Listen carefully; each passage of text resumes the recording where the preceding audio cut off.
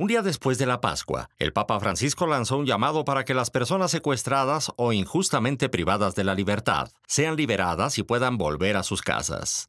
En la celebración del lunes del ángel, conocida en Italia como la Pascueta, el líder católico impartió su bendición a más de 20.000 personas congregadas en la plaza de San Pedro del Vaticano, con quienes rezó la oración mariana del Regina Coeli, Reina del Cielo.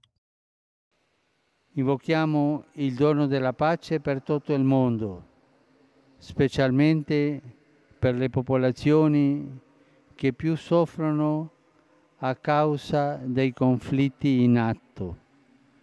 El Papa Francisco recordó que el día después de la Pascua se celebra a los ángeles porque fueron estos quienes comunicaron que Jesús había resucitado a las mujeres que lo fueron a buscar y encontraron el sepulcro vacío.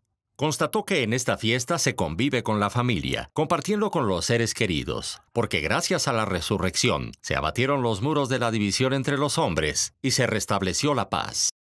Non possiamo rinchiuderci nel nostro privato, nel nostro gruppo, ma siamo chiamati a occuparci del bene comune, a prenderci cura dei fratelli, specialmente quelli più deboli ed emarginati.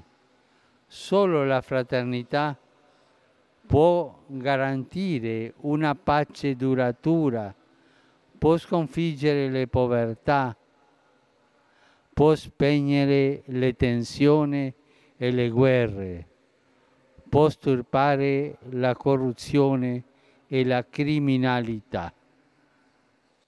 Notimex.